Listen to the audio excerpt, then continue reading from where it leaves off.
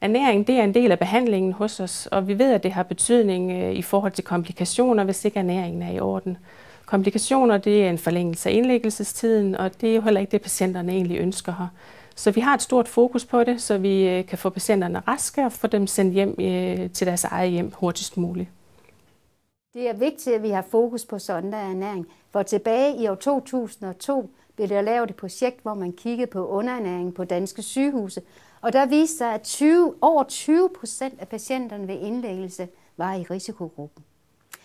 Andre studier har også vist, at mange ældre medicinske patienter har også risiko for at blive underernæret under sygdom.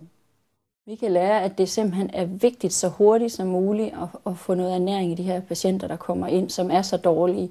Og, og simpelthen ikke tøve med at få givet det her sondemad, fordi det giver dem lige kickstarten til, at de så selv kan, kan komme videre. Så det er vigtigt med sondemad, og gerne tidligt i forløbet. Det gør en stor forskel, at lægerne de spørger interesseret ind til, hvad patienterne de har spist og drukket i løbet af dagen, så det ikke udelukkende bliver en opgave for plejepersonalet. Hermed viser lægerne netop også, at maden er en stor del og en vigtig del af behandlingen.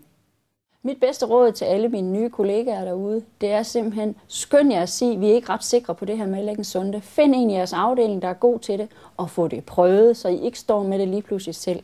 Det er slet ikke spor farligt. Simpelthen prøv det, og have en, en god kollega, erfaren kollega, der kan vejlede jer ved siden af jer. Jeg vil gerne fortælle en historie, som ligger cirka 10 år tilbage i min karriere, og det var i hvert fald en historie, hvor man kunne se, at sondernæring gjorde en stor forskel for den her patient. Det var en øh, lungepatient, som havde ligget på øh, et andet sygehus, hvor hun havde ligget i respirator, og var så kommet ud af respiratoren, og man havde faktisk vurderet, at hun, hun var så dårlig, at, at hun skulle ikke i respirator igen, hvis det blev aktuelt. Og hun beder så om at blive overflyttet til vores sygehus, da hendes pårørende bor her i byen. Og vi er sådan lidt i tvivl, hvad, hvad skal det her ende med? Er hun døende, eller hvad er det lige? Og hun kommer så til os, øh, og vi ser jo også, at hun spiser ingenting. Øh, og vi får lagt en sonde på hende. Og så går der sådan en uge, 14 dage, hun får fuld sondeernæring, og, og får faktisk overskud efterhånden derhen af, til at blive mere og mere frisk og begynde at og kan spise noget til måltiderne, så vi flytter sondeernæring til at blive givet om aftenen og om natten, så hun er, er klar til at kan spise det, hun kan til, til måltiderne.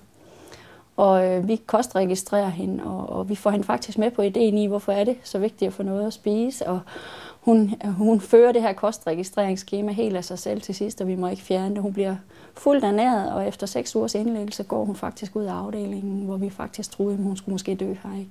Så det var i hvert fald øh, meget tydeligt at se på hende, hvad sondemaden den gjorde. Den hjalp hende i hvert fald i gang til at komme tilbage til livet, så det var simpelthen dejligt. Jamen det betyder jo rigtig meget for at se den her patient komme ind i afdelingen meget afkræftet af det hele, og, og så se hende blomstre op, og, og hun begynder at tage ansvar for, at det er vigtigt, at hun får ernæring. Og jeg føler virkelig, åh, min sygeplejeopgave i at, at vise den her patient, hvad ernæring kan gøre en forskel til, og få hende til at, at få mod til at få livet tilbage, og så se hende gå ud af afdelingen, det giver simpelthen bare en følelse af glæde, og der var smil på, da hun gik, og ja, det er jo simpelthen bare en dejlig fortælling.